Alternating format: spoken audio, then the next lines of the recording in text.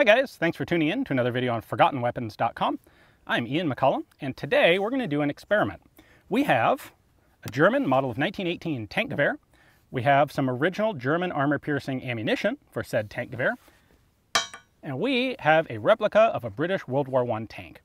Now, the British, of course, introduced the tank uh, really in full-fledged, all its glory at the Battle of Cambrai in 1917, and this led to a bit of a panic in the German army. They needed some sort of weapon that could deal with these giant lumbering armored behemoths. And so, in a bit of a, a rushed development, they came up with the Tankgewehr, or rather the Mauser company came up with the Tankgewehr. The Tankgewehr is basically just a huge scaled up Mauser bolt action rifle. It's a single shot rifle. They stuck a pistol grip on it because the stock is so big in diameter you can't really hold it like a standard rifle. And they chambered it for a 13.2 millimeter cartridge. This was actually supposed to be a machine gun cartridge as well. This was the uh, 13.2 TUF, or Tank und Flieger. I should point out, at this point in history, the German word for tank was tank, because they were copying the British word for tank, which was tank. The word panzer wouldn't show up until several years later. At any rate, uh, this was the German answer to the British tank. The question is, was it effective? Now, the Mark IV British tank was the most common one in use. Uh, the British made about 1,200 of them. And the Mark IV, actually pretty much all of the British tanks had this same setup, but the Mark IV had three different thicknesses of armor on it. It had 6 millimeter armor covering the side of the tracks, it had 8 millimeter armor over some of the areas of the engine, and then it had 12 millimeter armor over the main crew compartment. Now 6 and 8 millimeter armor is suitable to stop rifle bullets. 12 millimeter is excellent for stopping rifle bullets. The question is, would it stop one of these?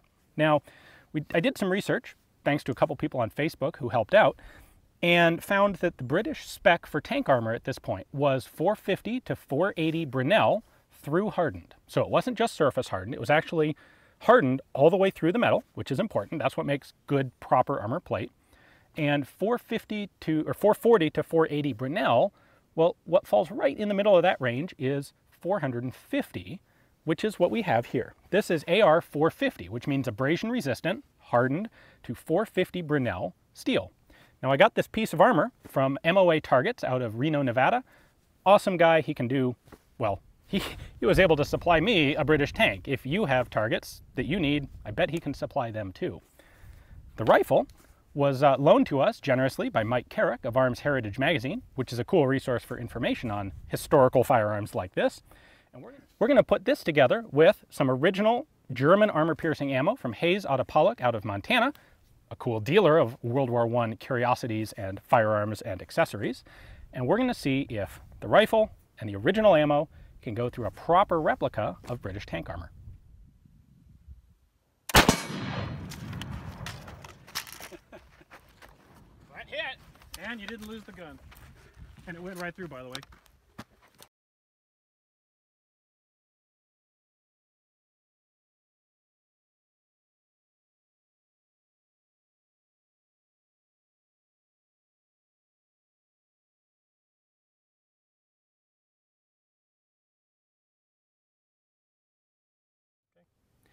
All right, that is a pretty definite success. Uh, that appears to have gone through this armor like butter. This was a square-on shot at about 50 yards distant. So at that range, if you were inside this tank, it would have been a really bad day. Uh, there is definitely some fragmentation and spalling that you can see on the inside. And I believe what happened is the jacket shed off of the armor-piercing core, you can see scatter or spatter on the front of the steel here. We saw it throw up some material in the front of the target. And then the AP core and the contents of this hole went flying out the back in a pattern that would have been really bad to be in the way of if you were a British tank crew member. Let's take a look at the back of that hole. That is nasty. This is all blown out around here. It's interesting to note the, the discoloration of the steel here where the bullet came through. That honestly looks like it was pretty easy for the gun. So we're gonna try another shot, and this time we're gonna angle this plate at about 45 degrees and keep the same 50 yard distance and see if we can get through the armor in that setup. Second shot at a 45 degree angle and 50 yards.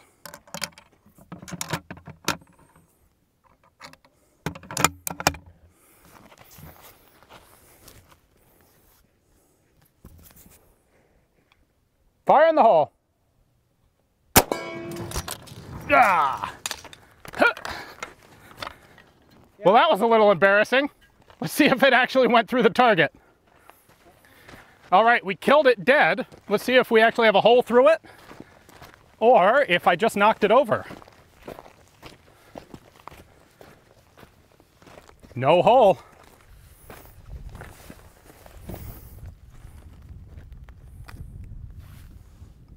There you go, guys. We have a nice deep divot in it, and you can see all the spatter of that armored core, or hardened core, but that did not perforate the tank.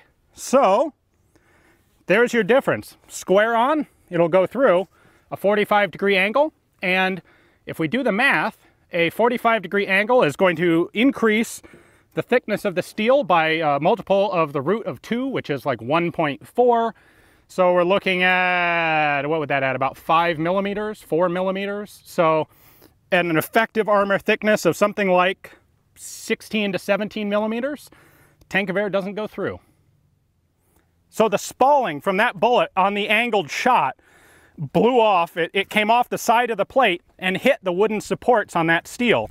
You can see I'm quite a ways from the target now, and I found this piece of our wood here, and then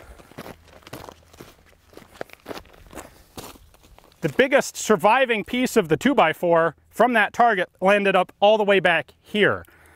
This would have been really, really unfortunate for anybody inside the tank when one of these rounds hit. People think, well, it's just a solid bullet. What's it going to do when it goes through that armor? The answer is you've got a cloud of nasty, really high velocity metal fragments flying around inside that tank, and it will be a mess in there. Well, thanks for watching, guys. I hope you enjoyed the video. I hope you learned something about British tanks and German anti-tank rifles. I know I've always been curious to find out an answer to this question. So I'd like to once again thank the three different people, all of whom helped make this possible. Uh, of course, those being Hayes Otoupalik for the ammunition, MOA Targets out of Nevada for the steel, and Mike Carrick from Arms Heritage Magazine for the all-important Tankgewehr rifle. If you guys enjoyed the video, make sure to subscribe on YouTube and Full 30, and check in again to more Forgotten Weapons.